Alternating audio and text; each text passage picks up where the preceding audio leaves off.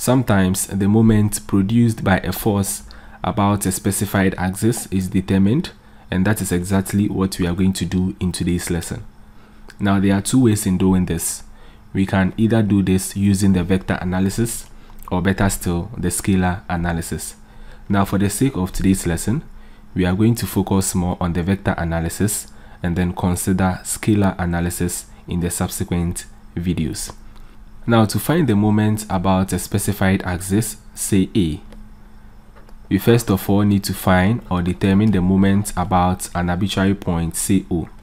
And in the previous lesson on moment of a force in a three-dimensional space, we said that the moment of a force about the point O is given as the cross product of R and then F, where R represents the position vector directed from O to any point on the line of action of the force F, and then F represents the force represented as a Cartesian vector. Secondly, to find the moment produced by a force about a specified axis, say A, that is given by the dot product of the unit vector directed along A and the cross product of R and F. So basically, if you want to find the moment produced by a force about a specified axis, say A, we are going to use the second equation. Now, the moment MA is said to be the projection is said to be the projection of MO onto the A axis. The projection of MO onto the A axis. So to find the moment about the xyz axis, we say that moment about the x-axis is given as the dot product of the unit vector directed along the x-axis and the cross product of r and then f. Moment about the y-axis is also given as my equals uy dot r cross f.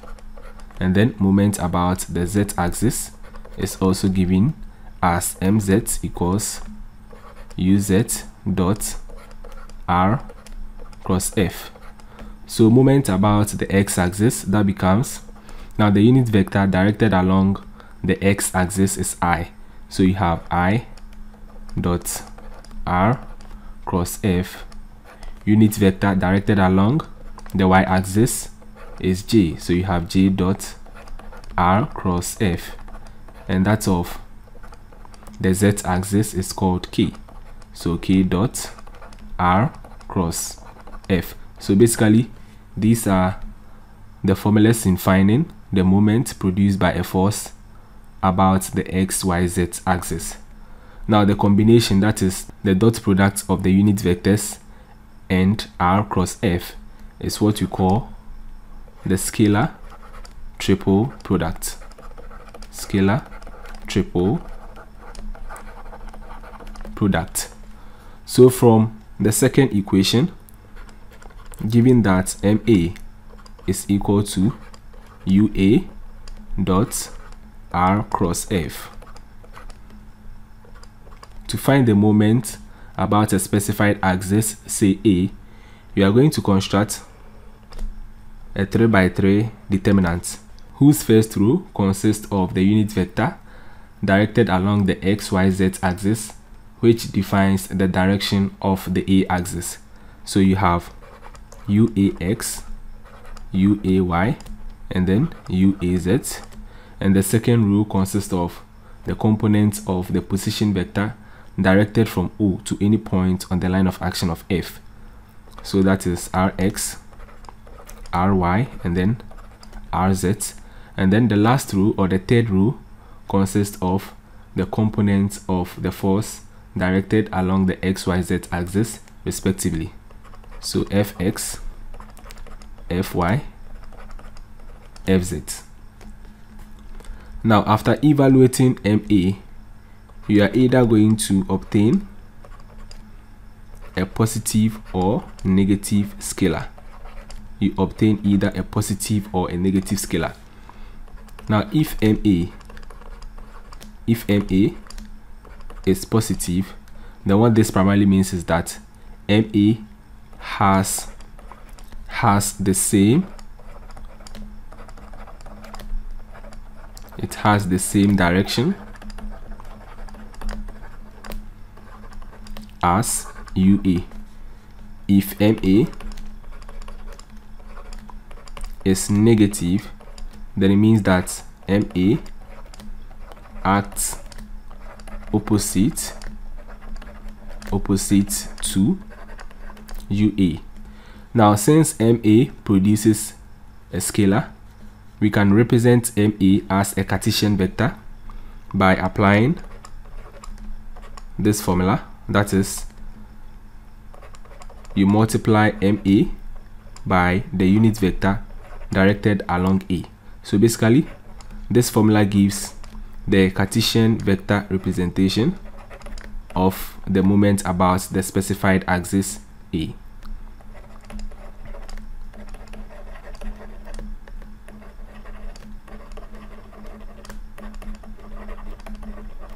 So having this information, let's try a few examples. So let's solve our first two questions. Question 1.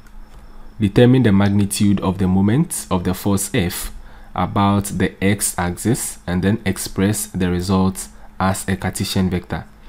Now the second one, we are also going to determine the magnitude of the moment of the force F, which is the same force, this time about the OA axis and then we are going to express the result also as a Cartesian vector. Now let's try to solve these questions. So for question 1,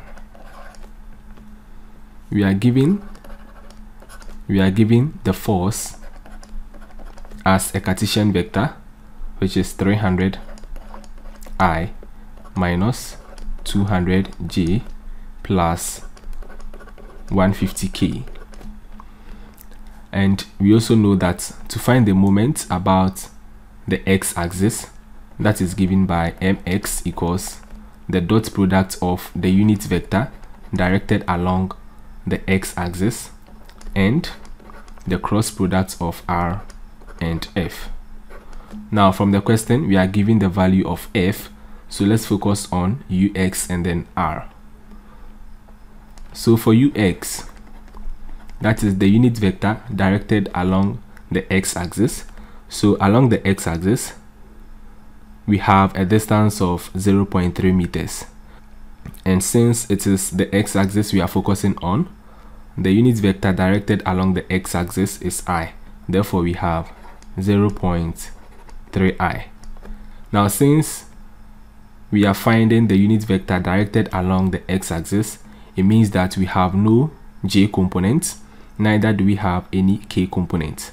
And so the unit vector ux is equal to 0.3i plus 0j plus 0k all divided by the square root of 0.3 square plus 0 square plus 0 square. Now this is equal to we have 0.3i divided by the square root of 0.3 square is 0.3 because the square cancels the square root and then we are only left with 0.3 so we simplify this and then we have i. So ux is equal to i. Now for r we know that r is giving us the position vector directed from o to any point on the line of action of the force f. And so we are going to define a position vector from O to B. So that is RB so we have RB to be equal to now we are going to move from point O to point B. And so in doing that we move 0.3 meters along the x-axis. And then you know that away from point O you have a positive value. And then when you move towards point O you have a negative value. So away from point O on the x-axis you have a positive value of 0.3 so we have 0.3i and then we are also moving away from point O on the y-axis. And so we have a positive value 0.4 j. And then from point A we are moving towards point B also away from point O. And so we are assumed to obtain a positive value. However because we are moving in the negative z plane it means that we should obtain a negative value and so this becomes negative 0.2k and so this is rb the position vector directed from o to point b. Now having obtained ux and then rb with f we can find the moment about the x-axis so moment about the x-axis is giving us we are going to obtain or construct a 3 by 3 determinant. And so we have ux. Now the coefficient of i is 1 so we have 1 0 0 for rb we have the coefficients to be 0 0.3 0 0.4 negative 0 0.2 and then for the force F we have 300 minus 200 and then 150 so let's try to find the determinant of this 3 by 3 matrix. And so first of all we select 1 we cancel out the row and column containing 1 we have 150 times 0.4 which is 60 minus negative 200 times negative 0.2 so negative cancels out negative. negative 200 times 0.2 gives 40 so we have 40 now for the next one we have 0 here and then whatever value we multiply by 0 is still 0 and then for the last one also whatever value we multiply by 0 is still 0 so we can simply leave those ones out. So basically we are going to have 1 times 60 minus 40 and then 60 minus 40 is 20 and so we have the moment mx to be 20 newtons meter. Now remember that this is a scalar and we were asked to express the result as a Cartesian vector. And so representing that as a Cartesian vector we have mx to be equal to mx that is this value times the unit vector directed along x. So that is equal to 20 times i 20 times i newton meter. Now let's move on to question 2 so for question 2 we still have the same force f. We still have the same force F which is 300I minus 200J plus 150K and then we are also going to use the same RB because RB is the position vector directed from O to B so we are still going to use the same RB that is 0. 3i plus 0.4j minus 0.2k. Now, the reason why we are going to use the same RB is that we need to define a position vector directed from O to any point on the line of action of F. And so since RB defines that, then it means that we can use the same RB. Now the only difference is that we are going to find the moment about the OA axis. Now, this is the OA axis. This is the OA axis. And this is where we are going to find the moments about. So first of all, let's find the unit vector UA. And so we are going to move from point O to point E. Now you notice that OA lies in the XY plane it lies in the xy plane so we need to move some distance along the x-axis and some distance along the y-axis in order to move from point O to point A. So along the x-axis and away from point O we have 0.3i and also away from point O on the y-axis we have 0.4 and then we divide through by the square root of 0.3 square plus 0.4 square this is equal to 0.3i plus 0.4j now the square root of 0.3 square plus 0.4 square gives 0.5 and then 0.3 divided by 0.5 you have 0.6 i plus 0.4 divided by 0.5 you have 0.8 g.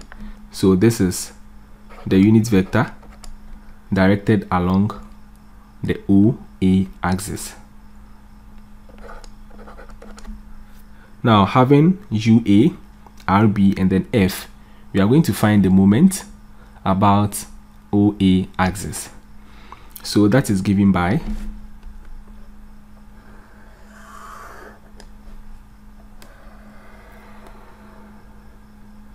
so we have the moment about the OA axis to be equal to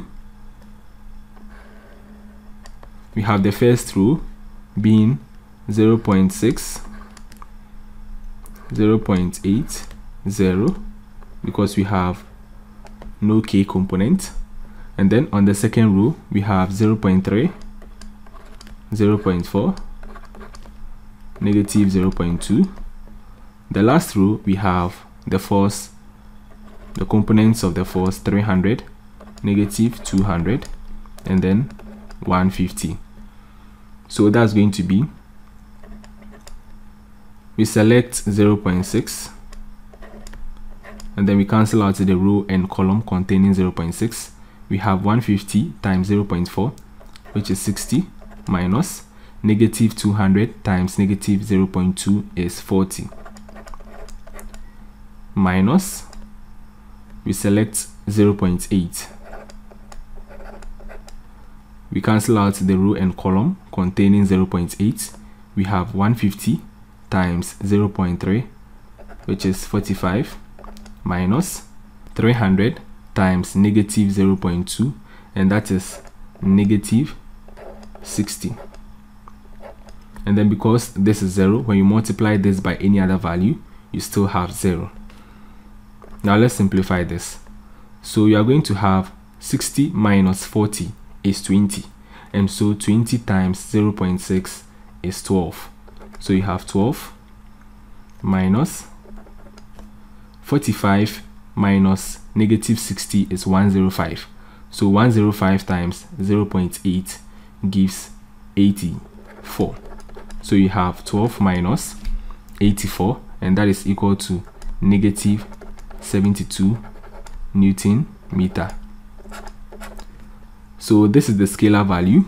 If you want to represent MOA as a Cartesian vector, then basically that is equal to you have MOA this value times UA so that is equal to negative 72 times UA is 0.6i plus 0.8j and so you have this as negative 72 times 0.6 gives negative 43.2 i.